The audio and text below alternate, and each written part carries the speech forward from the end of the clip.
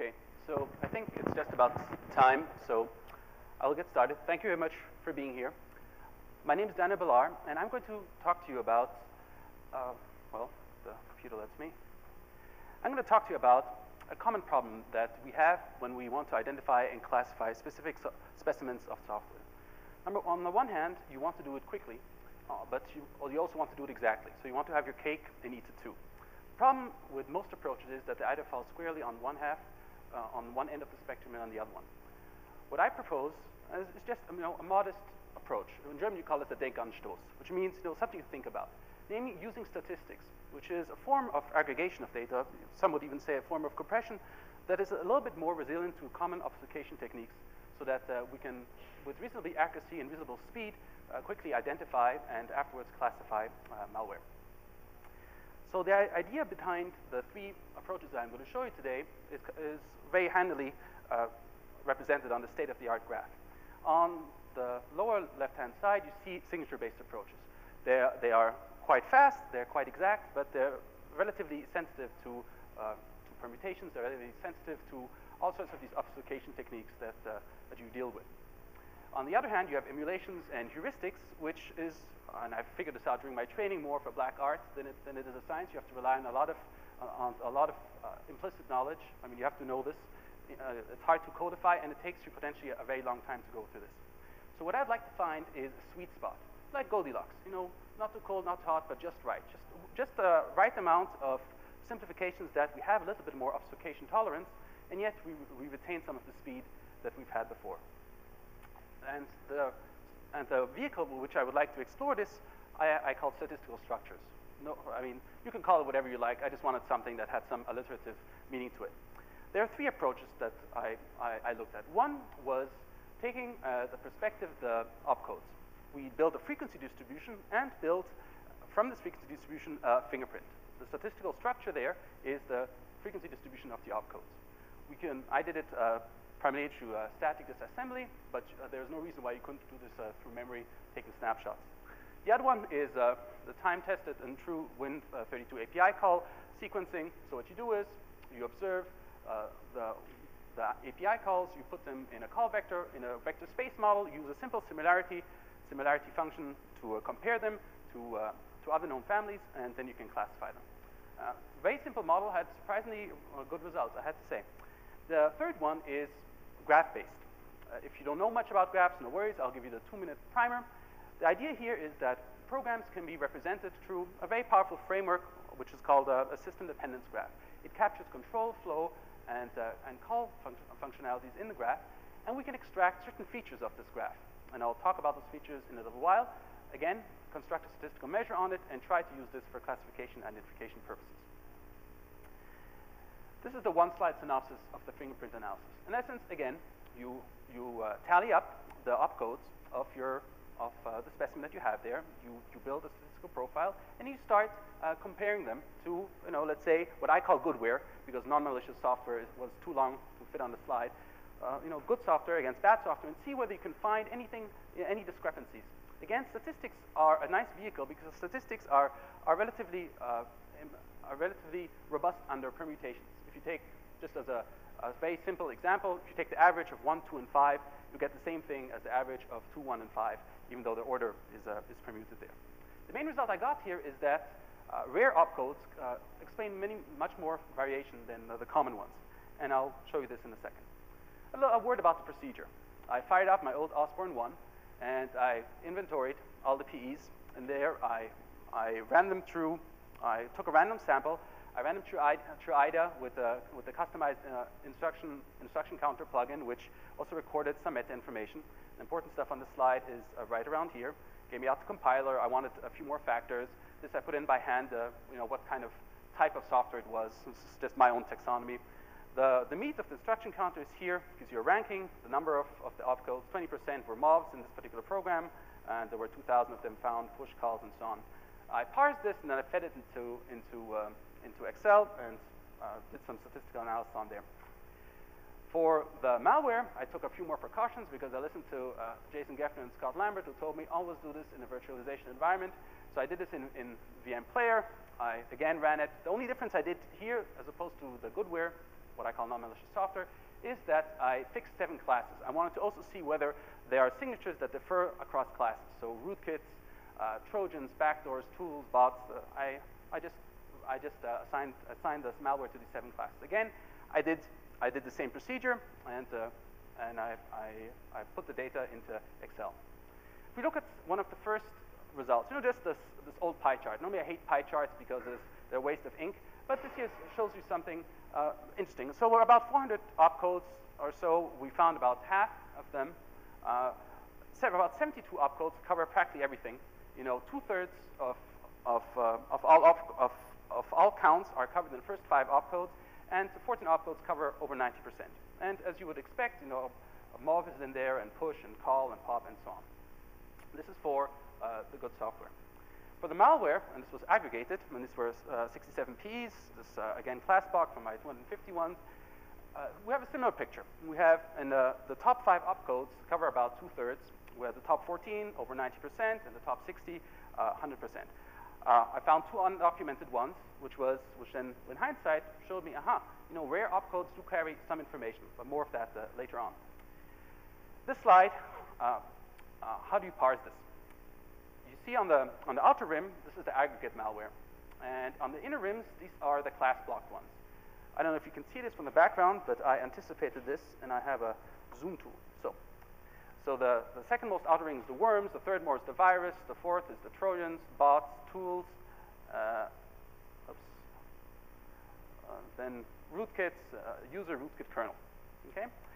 Now, from this slide, you should only take that you see there are some discrepancies in the, in the very common ones, but as we go down here, you know, they seem to, uh, uh, the, they seem to, the distribution uh, um, frequencies and occurrence seem to kind of converge here.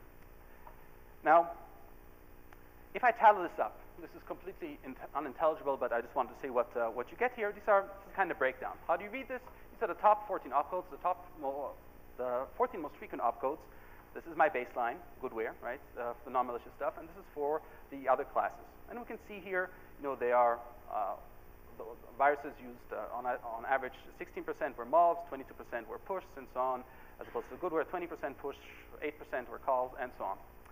The key here was that this is a frequency distribution. Now I would like to see whether I can run some tests on this and answer, and answer a, a simple question, namely, given that I have this opcode frequency distribution, is there any significant difference for malware in this, in this kind of distributions? So I'm looking at the distribution of the goodware and the malware, trying to figure out, is there something other than chance that could, that could explain, uh, that could explain uh, discrepancies or similarities? So on the left there, you see my, you see my uh, baseline. What I did was, uh, for the statisticians among you, I did a, a contingency table test, chi-square testing with uh, a star residual test. what I got here, that's statistical thingamajig. How do you parse this? Well, it's a little bit hard to parse, and most of the explanation will come the next slide. What you can see here, what you should get from the slide is just, I color-coded it for, for visual convenience. Whatever is darker means uh, higher, uh, means higher or, low, or, or lower, uh, higher or lower discrepancies. Whatever is white seems to be kind of similar. Whatever is, is, is darker red or darker blue seems to be different. So we can see here that uh, the kernel rootkit, for instance, has practically everything. Everything seems to be significantly different from from the normal stuff. Tools seems to be kind of you know roughly you know two thirds and so on.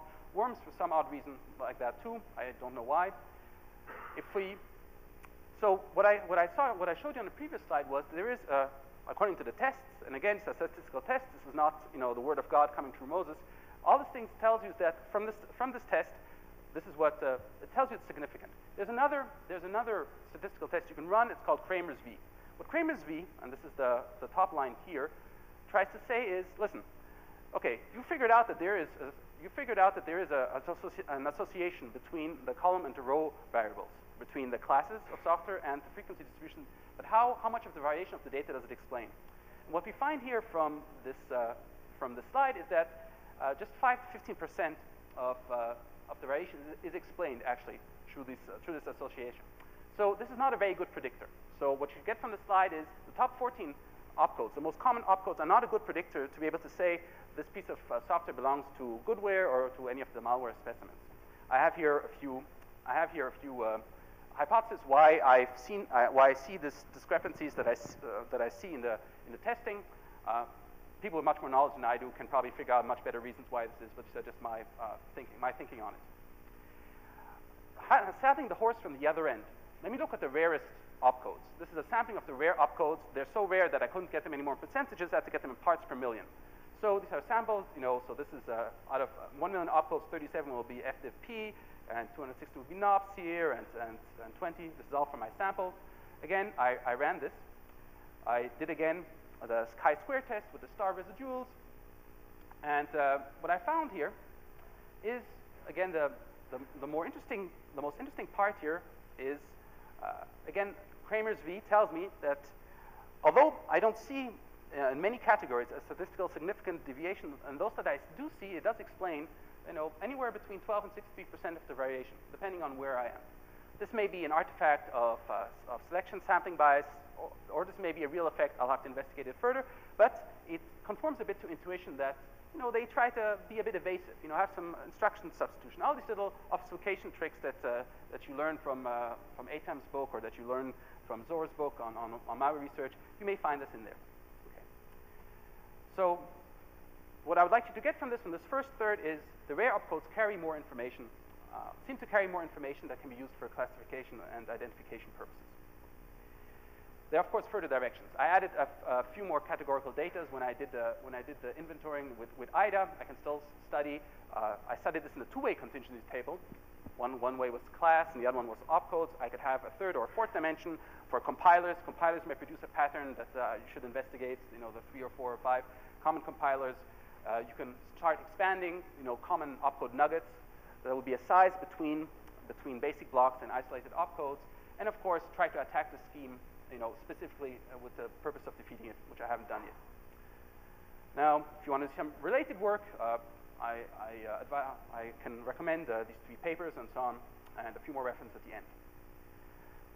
Now for, this was more for identification. Let's see if we can find classification. This is work that I did with my honor student Chris Reeves, who's now at Vigilant Minds, uh, a couple, a year ago or so. So the key, the key, uh, the key procedure here is we run the stuff, we record the API calls, we construct a fingerprint from, from the API calls, not an ordered sequence, just the mere fact how many times are they called, put them in a database, and then cross-compare it using a similarity measure. The, the interesting thing was that this relatively simple model, I thought to myself, Chris, we'll start like this, and then if it doesn't work, we'll go to finite state automaton, yielded surprisingly good results. I mean, 80% for a first stab, where you don't have to do very much, you know, is, is not bad. I mean, at least for me, it's not bad. if, I'm 80, if the weather forecast was 80% right, I'd be very happy. High-level overview of how we did this. Data collectors, you know, we build a vector from the, from the API calls, we, we dump them to the database, we used, uh, we used a comparison, and uh, we then assigned it to a family. Again, the goal here was classification of malware that we knew was malware, but we didn't know which family it belonged to. We wanted to see whether we could, we could classify them just, for, just uh, with the API calls. Uh, how did the data, data collection work? We set up, again, uh, fake environments. We faked the network. Uh, there was a DNS server and so on, so they thought they were in there. The, re the relayer, we logged the file into the console so we could, we could have a look at it. What did we do? We used inspiration from the Microsoft Detours project. Uh, we hooked um, we hook the functions, uh, we, we inject it into the, into, the, into the process address space, we hooked the functions, and just recorded. Uh, I invite you to look at the Microsoft Detours project for, uh, for more details on this. What is the actual data we recorded? This is, a, this is a, um, an illustration. So it's a vector. Think of a vector, 1,200 elements, and each element uh, tells you the number of calls of a, of a particular call. So find close was called 62 times, find file first find first file A 12 times, and so on. We did this for about, we collected about, the vector was 1,200 plus dimensions, 1,200 uh, plus dimensions.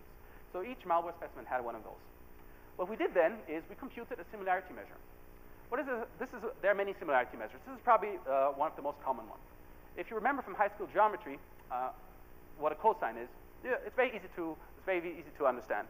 If you have two vectors like this and they're perpendicular, if you project one onto the other, you'll, you can't really, I mean, because the similarity will be zero. The more, the more similar they are, the more they'll project, one will project onto the other, and the higher the score will be. Similarity measure uh, normalized between zero and one.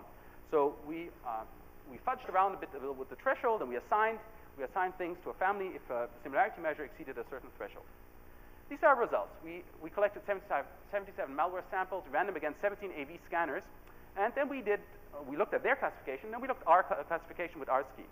And with about the threshold of 0.8, that means if the similarity was about 0.8 when it came to this very simple, unordered, uh, just number of occurrence uh, API calls, was about 80%. So uh, our sweet spot was, was about here. Uh, you can see where the discrepancies were for these, uh, for Beagle and for Enor, MyDoom, and so on. We had a few false families. We had a few missed families.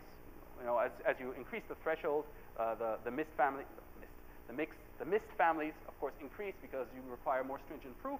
So again, it's a, it's a fuzzy factor. Statistics is a fuzzy business, right? The good thing is it makes you more tolerant towards uh, slight pertur perturbations. An interesting side effect, even though uh, intuitively this should be so, but like Oscar Wilde once said, sometimes it's the duty of the intelligent person to state the obvious, it's pretty impervious towards uh, packers. Probably don't use much API calls and so on. We could, we could uh, classify it pretty well.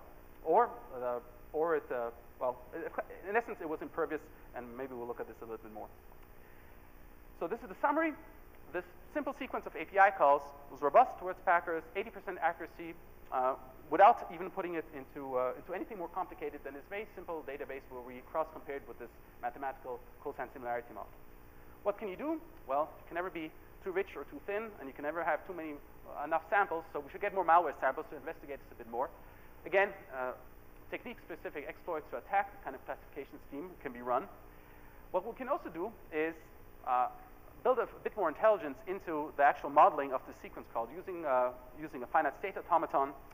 And, and this I learned uh, from uh, Zanero's talk, which was about an hour before. This is how I can hot patch. The, I invite you to have a look at his classification scheme, which, which went actually according to a system called arguments, something I hadn't seen done before, so I'm very grateful that I went to that talk. If you uh, want to uh, see related work, you can look at Sekar's work. He actually built a finite state automaton. Strange enough, he stopped. He didn't, I mean, it was a very good approach, and then he, just stopped. I didn't, he didn't really run it on, on too many things. Rabek built kind of a whitelist and so on, and Rozinov, that's a master's thesis at the Polytechnic in New York, uh, did, uh, did this, but statically. So he went to the code, statically disassembled, figured out the API calls, and did a very neat uh, finite state automaton uh, result on this. Um, the final thing, the final approach, again, so we had fingerprinting on opcodes, we had fingerprinting on API calls, is on graph models. The, the key idea is here. Represent the program as a graph, figure out some metrics of this graph, and again, construct a fingerprint that can be used uh, in a statistical manner. In order to do this, one has to know a little bit about, uh, about you know, representing programs as graphs. And here's the whirlwind tour. You all heard, and you all probably did it, function calls an IDA, you know, you can have the control flow graph. So what we first have is a, pro is a program dependence graph, which includes the data dependencies and the control flow dependencies. So it's, a, it's, a, it's an augmented, it's an augmented, if you will, control flow graph. This is this, this uh, neat little graph from CodeSurfer can serve as illustrative purpose.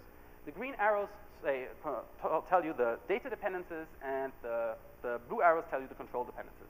So uh, just to, so sum, sum equals sum plus i is dependent on i here, and i equals i plus 1 is also dependent on i because it updates itself. So the green arrows are the data dependencies, the blue arrows are the control dependencies.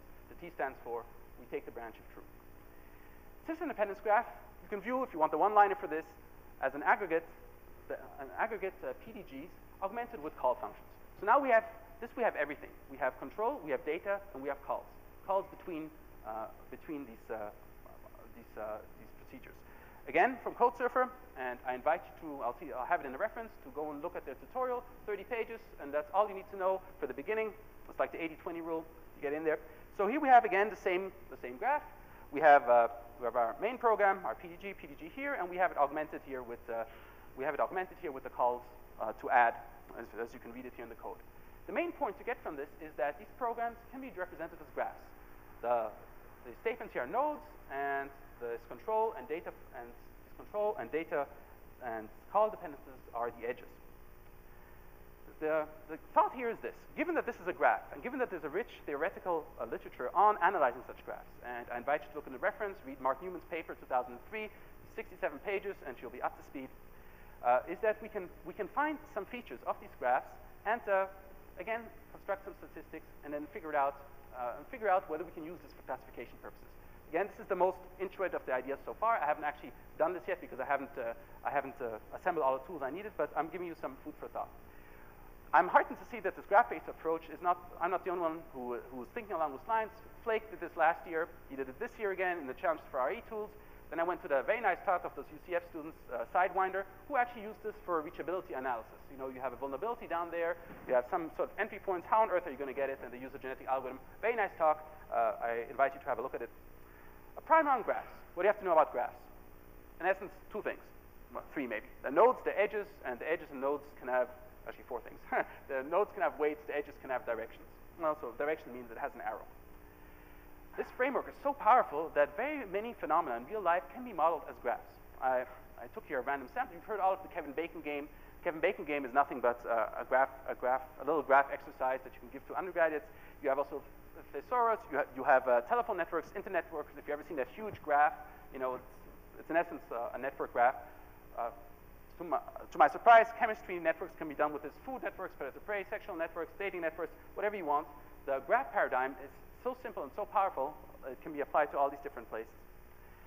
I'll give you a couple of, of, of, of, examples what I mean by measures that you can put on graphs. One is centrality. Centrality means importance. If to take something home, centrality just means importance. Now, I'll give you three centralities. There are more. One is degree, and we see here. This is a star graph, and just here for illustrative purposes. The degree centrality says how many nodes are connected to me. So, you know, I count immediate neighbors. So here we see, you know, uh, everybody has a normalized, you know, 0.25, except for the one here on the outer edge has 0.17 because they only have like two neighbors, and everybody else has, has three. Now, closeness. Closeness you can add, is how close am I from all other nodes? In the star graph, of course, the closest one is the one in the middle, right, has the highest value because you, it's easiest to get to every node in there. And the ones with the lowest value in the star graph are the ones on the outer edges. And here, this one here gets, is a bit increased, and this one here too, because the closer you get to the middle, the closer you are to all other nodes. Between the centrality, that's a, that's a very nice metric because it conforms intuitively to our notion of importance. Not just how many friends you have, but how important are you to everybody else around you. If you are the go-to guy in your organization, you, you have a high between the centrality. It means how important am I for any two nodes. Again, the one in the middle is the most important in this star graph. Not in a graph in general, but in this star graph. Why? All these, if this one got, if this guy is gone, none of these subgraphs can get to one another. We see the ones on the, on the outer, on the outer edges are zero. Why is that? Well, because they're not important for any communication. Any two nodes can communicate without going to the ones there. So they're between each other. The importance is zero when it comes to how many paths lead through me.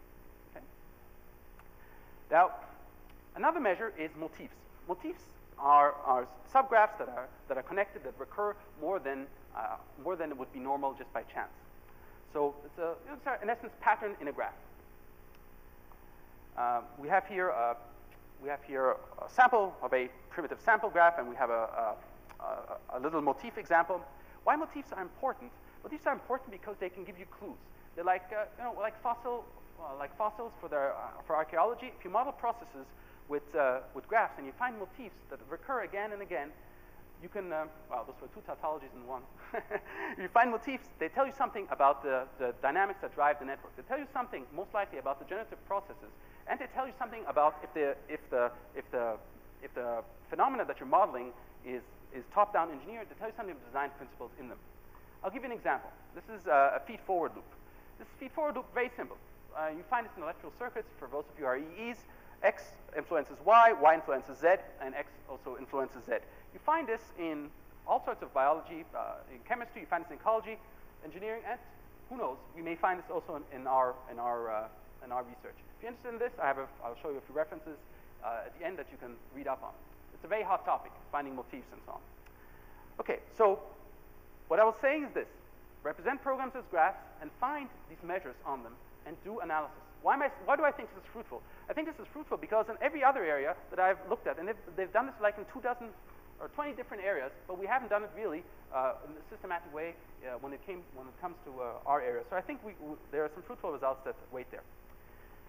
Uh, related work to this graph, graph-based fingerprinting, uh, look at Flake's Black Hat presentation in 2005. Uh, Mihai is here. Uh, he'll be happy to answer any paper on the, uh, any questions on this here.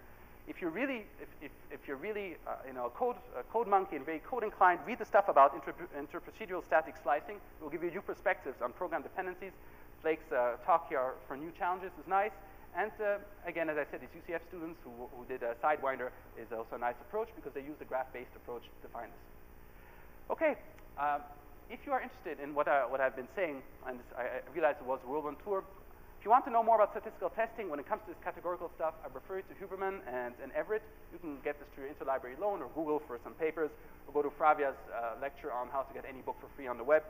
For network graph measures, uh, if you're interested in motifs, go to Alon's work. That's very nice. Uh, Mark Newman is a nice survey paper. And immodest as I am, you can go to my course on the science of networks if you want. Uh, it's, it's, a, it's a senior level uh, undergraduate course on, on uh, network and network analysis. System dependence graph, again, if you need the one hour introduction, go to the GrammaTech uh, website and read the KISS, read the, read the KISS paper. I've come to the end. Uh, and I'm also, I mean, my my powers that be have sent me here so I can find people who would like to collaborate with me so I can stick uh, students on certain projects like that, talented undergraduate students. So if you'd like to, if you have something that you think is pedagogically useful along these lines or even other lines, I'm open. Uh, uh, we can do this. And like with the airlines, I know you have a choice in talks, so I thank you for coming to mine, and I'll be open to any questions.